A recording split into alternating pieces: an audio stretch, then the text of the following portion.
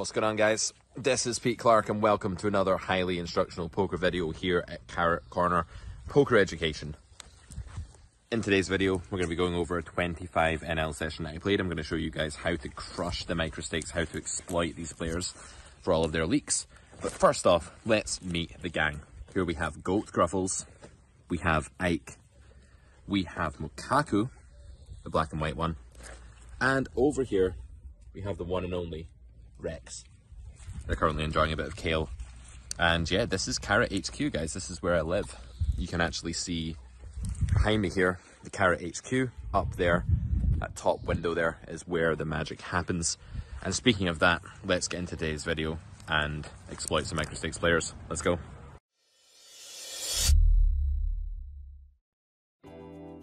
Pocket potatoes here. In the hijack, we go ahead and open, we get called by the big blind. Over here, we're going to open this ace 8 offsuit. Like I said, it doesn't really, the rake is high, but that doesn't really stop us opening wide. It more affects big pots based on rake cap. So 984, you can bet or check this hand. It doesn't actually matter. Some people think that you have to bet here. I am going to bet here this time, but I don't actually have to do it. The reason I don't have to do it is that while I will gain some protection by betting, we do also gain some EV when we check back and get villain to bluff later, or just control the pot size when villain's actually doing really well here. This brings us to exploit number one. Micro stakes opponents are very bad at protecting their in-position checking range on the flop. While I was mixing some check there with pocket tens, you will not see your opponents do that very often, and therefore you should be over aggressive with your turn probing strategy whenever flop goes check check. This is another 3-bet sizing mistake from Villain here, going this small in the big blind doesn't really make sense if you're building the right shape of range. You should normally be building a bit of a polarized range here, which would indicate a bigger 3-bet sizing generally. I think ace-jack in these positions, hijack against big blind, is just going to be a pure call. It's a little bit too good to be folding. I do expect this range to be overly strong because the sizing isn't quite right. I think it's quite likely that this is a recreational player, or possibly just a weaker regular. When they quickly check this flop, it could be that they're protecting their range adequately, but this hand is allowed to bet even if they are doing that, and it's certainly allowed to bet if they're not protecting their range. So I'm going to pure bet here. I think bet just has a higher EV than normal on this node. This is an interesting turn card where villain does have a lot of combos of like overpair here, ace queen with backdoor, something like this, possibly something like jacks, something like eight. I actually think fold equity on this node immediately is pretty low, and I think if we get jammed on here, it's a bit of a disaster. So this is a cool pattern that at this SPR with this much equity and just being jammed on being such a travesty, I think this is just an automatic check. Although we do have a lot going on, it's not the case that you just want to bet your range on the turn from the top down and just bet all the high equity hands before the low equity hands.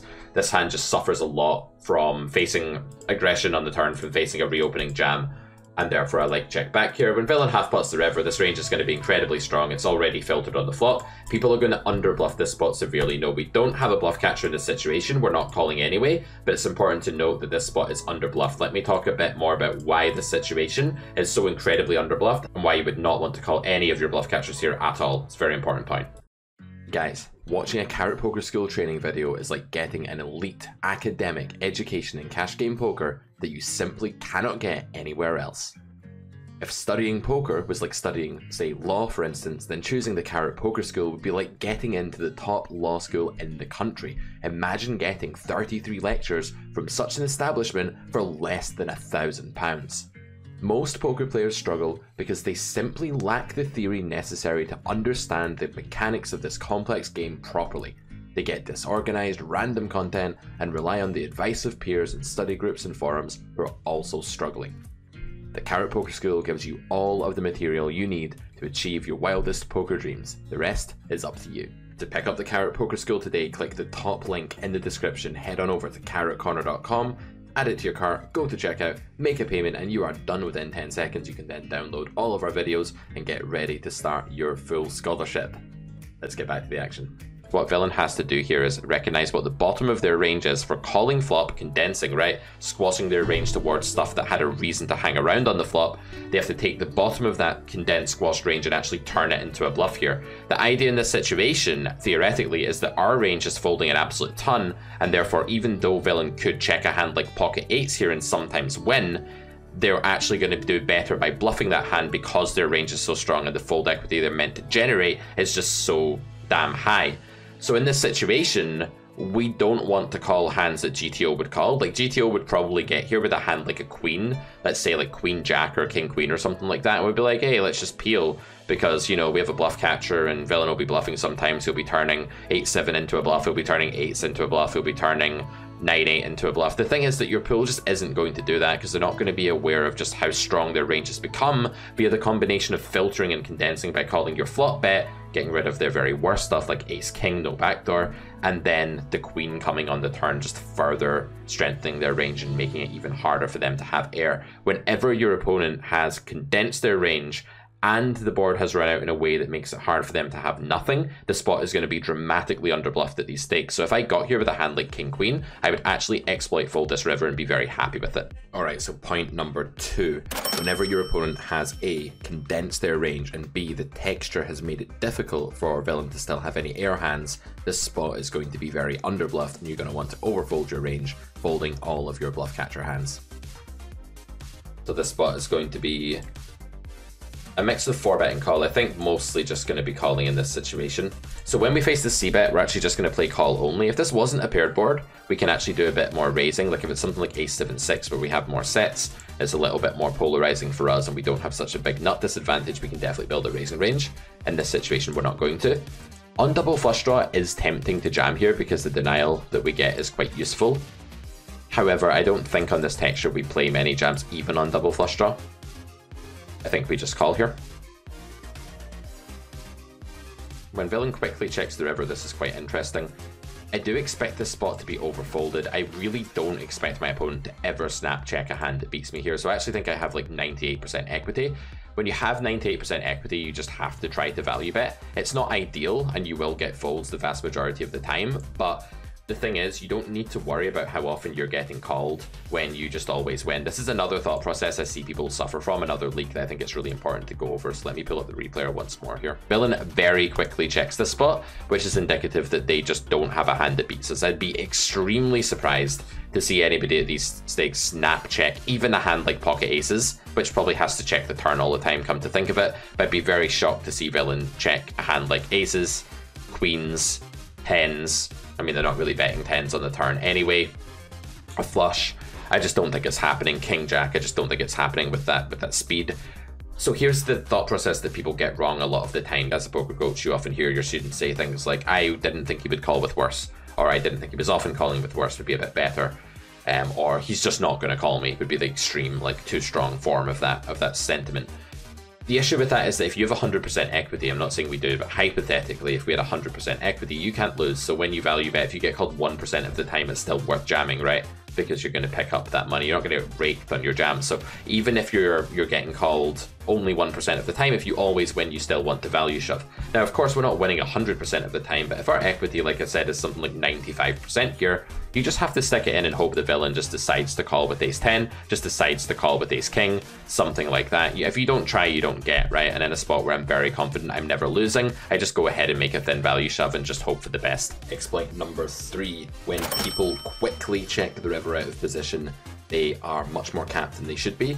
You're winning more often than you should be in theory, and therefore you get to value bet thinner than GTO might recommend it doesn't really matter how often you get called if you're never losing. Ace 9 Deuce, this is the board that you can go really small on, you can also check on. I'm just going to stick to my strategy of extremely small c-betting. I think making your c-bet smaller at these stakes is really cool. There's not really a downside to this, you can still facilitate the pot growth as and when you want to with the strong hands in your range by betting 4 big blinds on the flop. But what you're going to do is just cause Villain a, a much trickier puzzle to solve. People are going to be inelastic quite a, quite a lot at 25 NL, which means that they don't react to the difference between third pot and fifth pot very well, and therefore when you're bluffing or just betting a mediocre thin value hand, it's probably better just to go smaller. Exploit number four. Downsize your c-bets against recreational opponents at micro stakes. They're not going to react much differently to one third as they are with one fifth pot. So when you have a bluff or the bottom of your range, or even just a mediocre thin value bet, there's no sense in going bigger than you need to. You'll get similar fold equity anyway, and you'll cut the risk the times that things go badly for you. Sorry, I was just um got some techno stuff on, so you know, I'm just dancing. Just dancing, guys.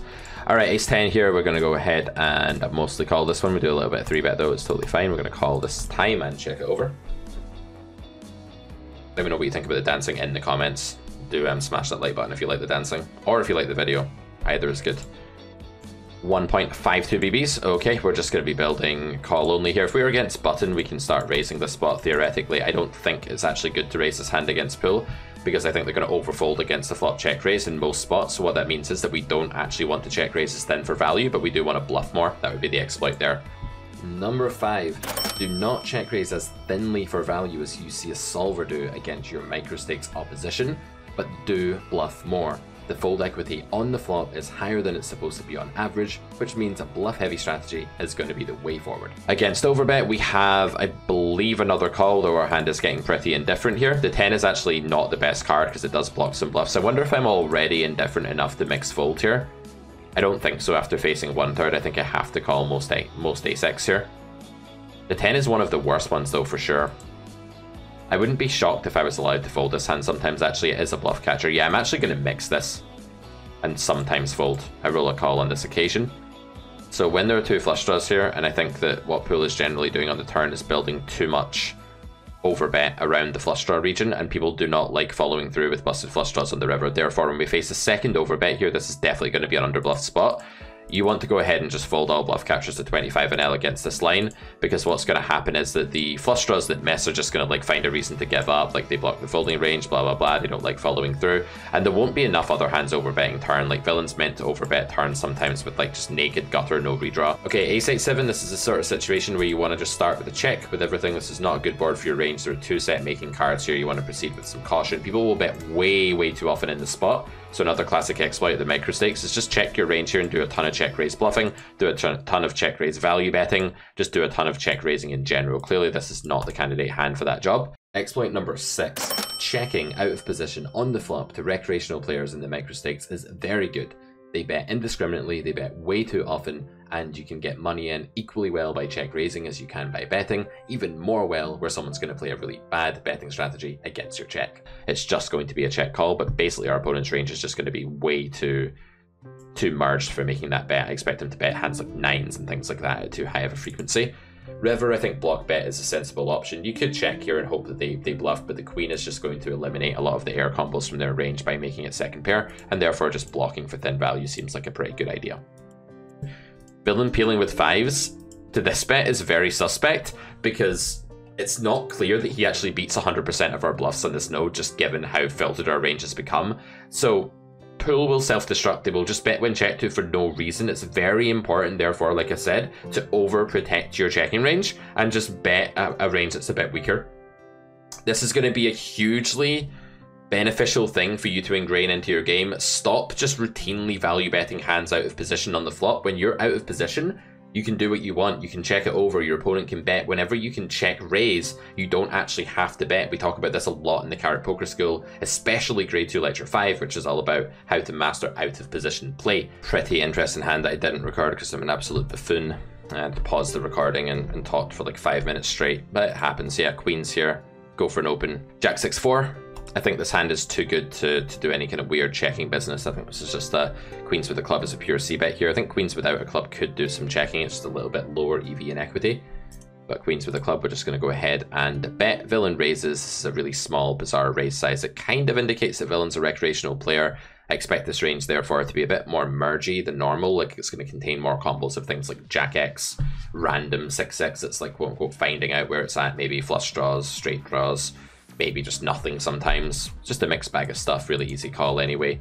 Turn is the nine of spades and villain makes a catastrophic sizing error here. I mean, this is just like really irrational poker. When you raise the flop, you're basically saying that your range is mostly going to be like sets that you want to keep betting here, right? Maybe something like 6-4 suited.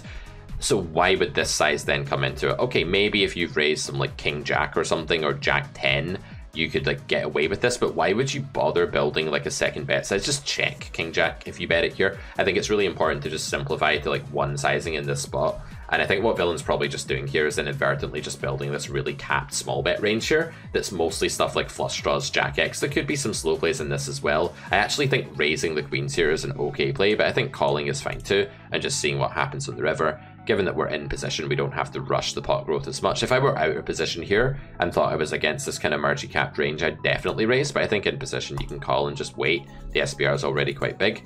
Villain then makes another kind of mergy looking bet on the river. I don't really know what to think of this, but certainly straights are not going to be a, a massive part of their range. They can have 10 8 of clubs, 10 8 of hearts, maybe. I'd be very shocked to see any other 10 8s, and King 10 is similar, so go for the jam here for value, and eventually Villain tanks and then folds.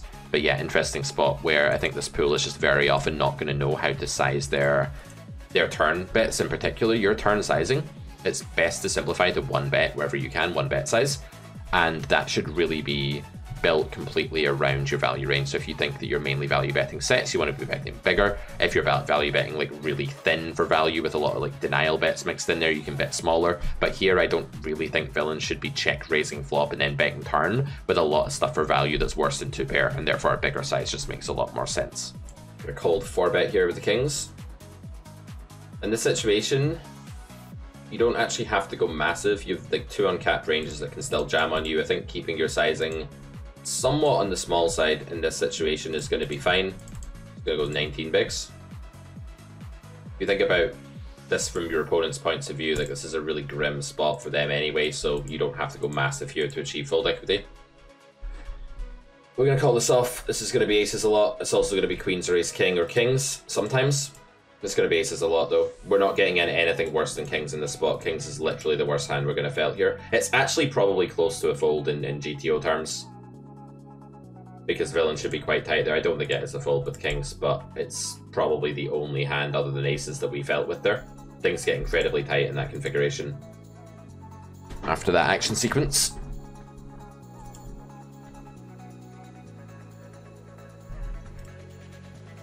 Again, the exploit here is opening a hand that's just a kind of break-even play in equilibrium. You have a weaker player in the big blind. This is probably just going to be profitable, slightly, but still profitable. People also three bet a bit less in this pool than they do at higher stakes than the, than a solver would. So so these hands tend to make money. Like I say, the rake isn't really an issue. At this low SPR, I think we can just play call only here. I don't think we actually have to raise anything against this player's large bet. This could be really spewy. It could be all kinds of things.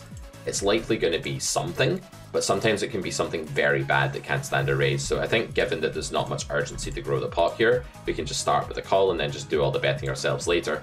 Villain checks on the King of Hearts quickly, again, very capped range, unlikely that this is going to be a flush or any kind of thing we need to be wary about. So we just take turn our hand into an absolute value grabber now and just go for for a few streets of value. The the other exploit here is just that when pool quickly checks, they're not protecting their checking range. I mean they're not anyway, but when the check is fast, the checking range is even less protected than it would be ordinarily, right? Again, making a close open because we want to, because we feel like it. King Jack 7 Rainbow.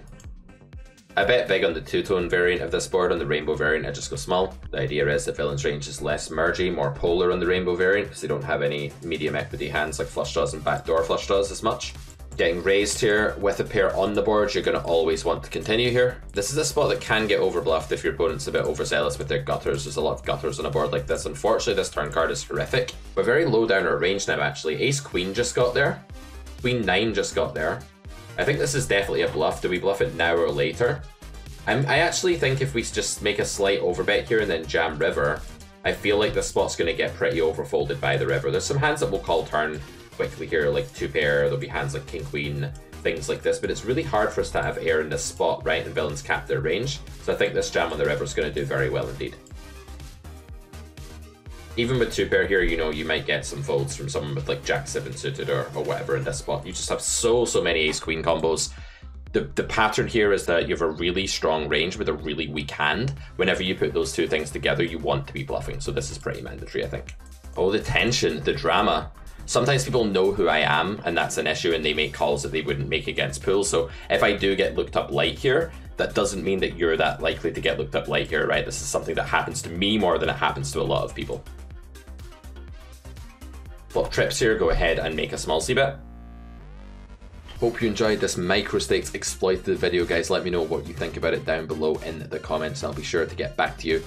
Final reminder for today that the Carrot Poker School is live. We're selling it on carrotcorner.com and you can save 500 UK pounds. That's about $627 if my math is correct. Being off the top of my head, let me know if it was at carrotcorner.com by picking up the full scholarship and getting grade 1, grade 2 and grade 3, basically getting your full poker education. This is the part in the video where I have to bid you farewell and say Thank you for watching. See you next time. Good luck at the tables and all of that generic stuff.